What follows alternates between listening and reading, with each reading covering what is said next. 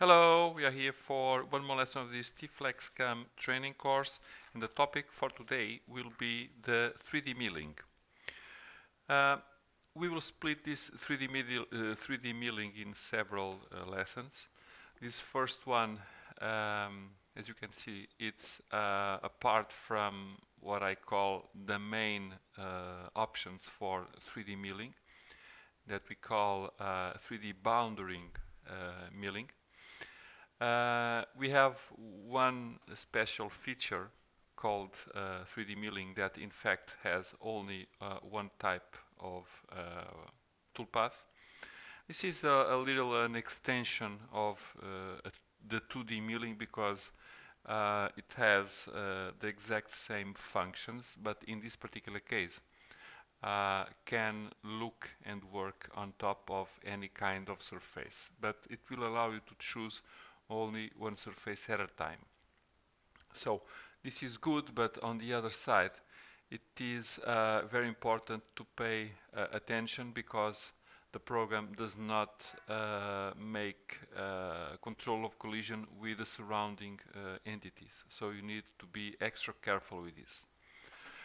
Uh, to show you what is possible to do with this 3D milling, I've built a very simple solid and I've created um, a very I would say interesting surface on the top so that you can see that this mode works uh, in uh, 3D surfaces with uh, strange shapes. So as you know already, so 3D milling, then we need to choose which surface um, we want to work with. So surface, I will choose this surface then I will choose the tool file. I have already a file created.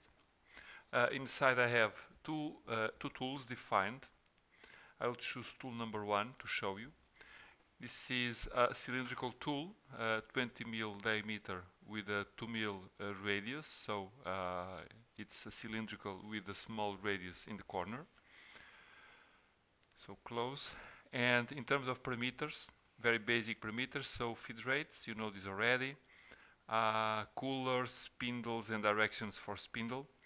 Then we can choose from the pass type the direction, so we have only zigzag in X and Y and uh, loops, so which is basically the same. Number of passes, let us uh, increase this a little to make this a little interesting. The tool lift you know already uh, increment uh, and the distance or in absolute coordinates. Doing the, the controlling the directions, counter contour and change the direction, okay.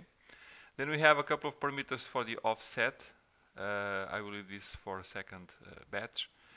Uh, approximation, this is the precision of uh, the chordal uh, error on the surface we can rotate also the vectors uh, that uh, we are working with um, in our machine. And then we have uh, the possibility to create uh, radius correction and offset correction. And we can connect these functions to the machine controller. So let us create a program. So as you can see it has done something. Okay. Um, let us change a little the parameters. Um, I can work uh, okay more or less more or less um, passes. Um, let us try to create a new one with a second tool. So face again this one. Uh, let us choose the tool file. And now tool number two now this is a spherical tool, 12 mil diameter and 6 radius, so it's spherical. Um, the same parameters here. This time I will choose in uh, Y. Also let's put 100 and control.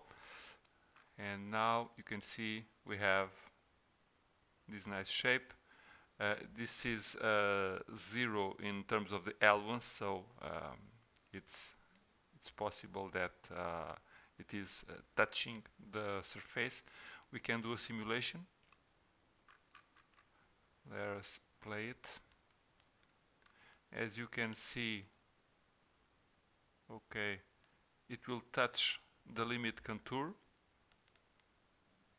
okay uh, then we can play a little with these parameters like um, for example uh, the offset parameters we can do a surface offset. For example uh, uniformize let us do in terms of the radius and the program will short will be shorter a little as you can see all around okay? Uh, we can also uh, have in this type of programs this interesting feature for the tool vector rotation where we can say for example rotate in one or two axes. So if I say for example 45 degrees uh, in the Y I will do a simulation now.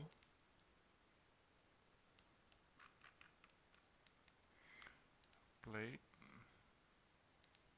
And you see that in terms of the y it is uh, it has this 45 degrees.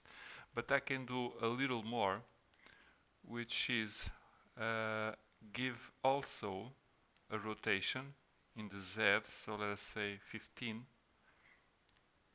calculate it again. Do also a simulation. Play it and pause it so you see that I have the 45 on this side and I have also 15 on this side. So we can uh, work um, in indexed axis uh, 3 plus 2 with this mode in very specific cases and with a lot of careful with the you must be very careful with this mode, uh, again, because of the collisions with the surrounding uh, entities, but it is very interesting uh, in some particular cases uh, this type of milling. So this is the first uh, possibility we have regarding 3D milling.